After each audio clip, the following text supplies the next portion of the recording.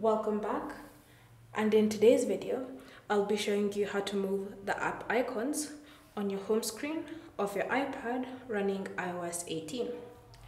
So the first step is to enter jiggle mode and to do this long press on an empty space on your home screen. From here you can now start moving your app icons. So let's say we want to move GarageBand to the bottom here.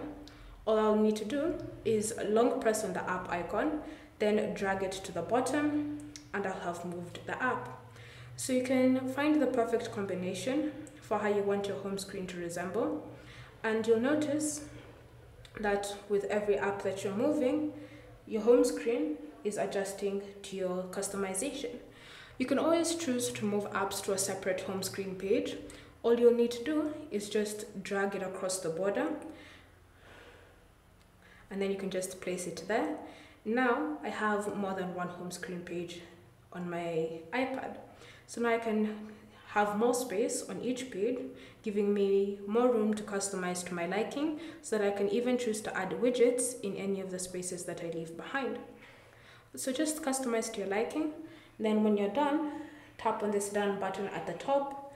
And now, no matter what you do, even if you switch off your tablet and then unlock it again, the changes are now permanent until you move them again.